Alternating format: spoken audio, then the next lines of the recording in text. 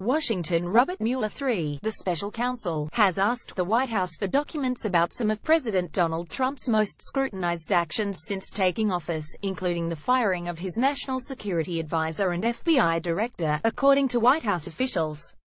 Mueller is also interested in an Oval Office meeting Trump had with Russian officials in which he said the dismissal of the FBI director had relieved great pressure on him.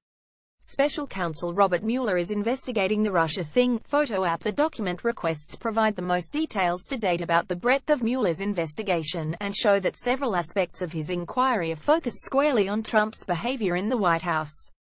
In recent weeks, Mueller's office sent a document to the White House that detailed 13 different areas that investigators want more information about.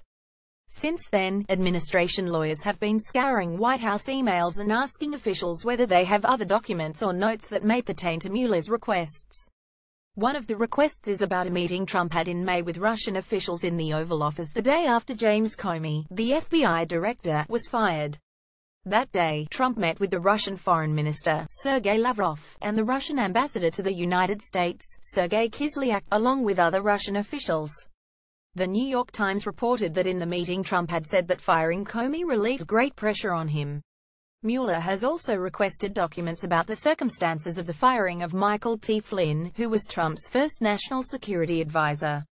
Additionally, the special counsel has asked for documents about how the White House responded to questions from the Times about a June 2016 meeting at Trump Tower. That meeting was set up by Donald Trump Jr., the president's eldest son, to get derogatory information from the Russians about Hillary Clinton.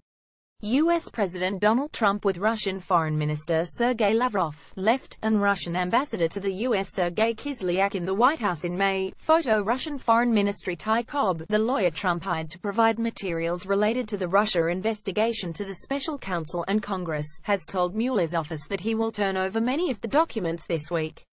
We can't comment on any specific requests being made or our conversations with the special counsel, he said. U.S. President Donald Trump meeting with Russian Foreign Minister Sergei Lavrov in the Oval Office. Photo Russia Foreign Ministry app New York Times